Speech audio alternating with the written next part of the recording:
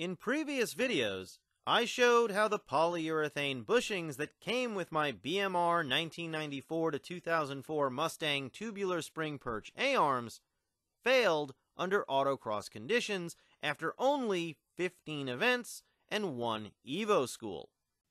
I covered the custom Delrin bushings made by Jacques Bene, a machinist and fellow autocrosser, and offered some install tips for getting them into the BMR A-arms and into the OEM K member. And I documented how well the custom Delrin bushings performed during their first test on an autocross course. This video provides a long-term review of how the Delrin bushings have held up under autocross conditions. I've done over 20 autocross events with the Delrin bushings in the car. I've thrown my 2000 GT around on fast open courses and tight technical courses. The Delrin bushings have been subjected to slaloms, sweepers, and spins, understeering, and overbraking. I drove my pony as hard as possible at every event, and the bushings have performed flawlessly. The only maintenance I've had to do is lube them with green grease at the start of each season. The Delrin bushings feel just as good today as they did the first day I installed them.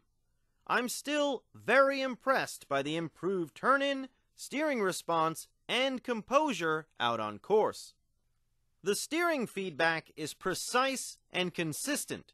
The Delrin bushings really shine during rapid changes of direction. I can feel the benefits under braking too the car is more controlled into slower elements. The car is also more confident accelerating out of sweepers. These bushings allow me to attack every element more aggressively. I've been so incredibly pleased with the performance of the Delrin bushings that I have another set installed in the A-arms that are going on my 2004 V6. There is, unfortunately, a bit of bad news. Jacques can no longer manufacture the Delrin bushings. But if you'd like to have a set made by your local shop, he will sell you a print for $3. If you're interested, please email Jacques.